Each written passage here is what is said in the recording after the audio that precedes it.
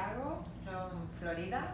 Thanks to, for coming here to retake courses one and two with Miguel and myself. How was the experience? Tell us a little bit. How was it four days? Oh, it was amazing. Um, it was a second round. I was very grateful that you guys invited me back out to get a, a better understanding and, and, and a systematic approach to the ANF um, discs.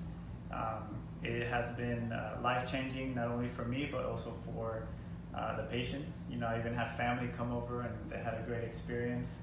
And um, it's definitely something that is going to help me help many patients in all aspects of what I do as a physical therapist. Mm-hmm.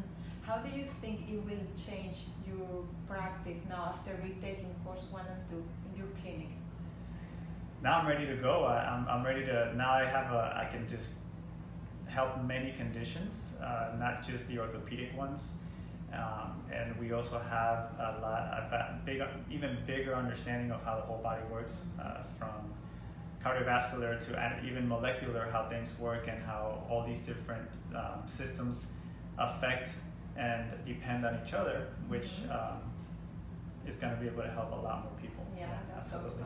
awesome. Awesome. And uh, you feel now more comfortable using all the range of discs that we have, more comfortable with palpation after these courses here? Absolutely. Yeah, absolutely. It's one of those things that you never think about digging down and palpating the nerves.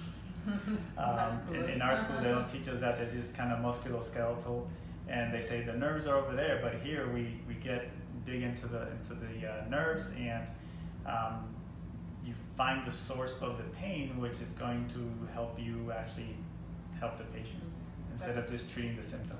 That's great. That's essential for ANF. Yeah. Thanks for coming, and thanks, thanks for helping so many patients in your, your clinic. Hope yes, to see you soon. You. Absolutely. Next levels. Yes, absolutely. I'll be back in a couple of days. Wonderful.